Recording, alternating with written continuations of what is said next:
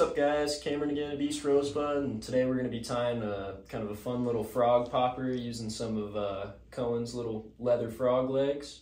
Got an articulation point in there, and yeah, let's get started.